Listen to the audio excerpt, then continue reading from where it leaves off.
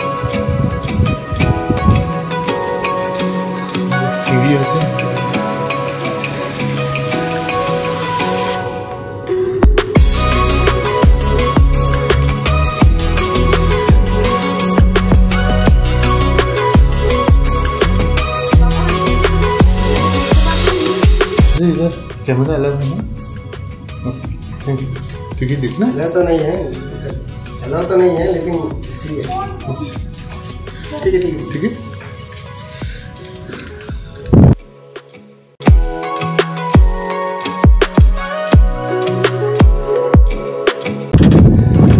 এত জার্নি করে এসে জার্নি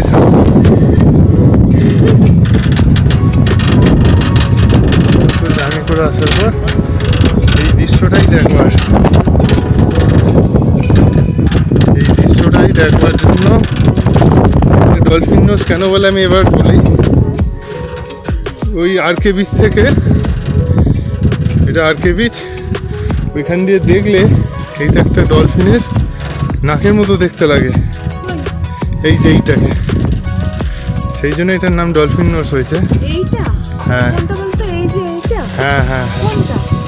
এইটাকে ওই দূর থেকে দেখলে এইটা ভালু হয়ে এসে এইটা নাকের মতো ডলফিনের নাকের মতো দেখতে হয়েছে।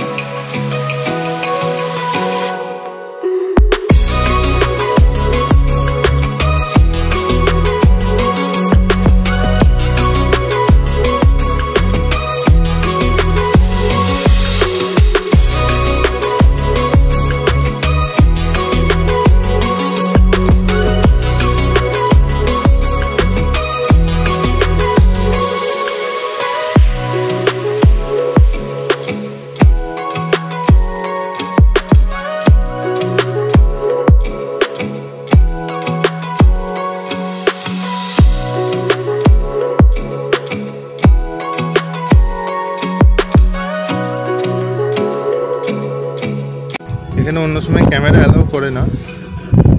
তো আজ কিছু বলল না। এই হচ্ছে লাইট।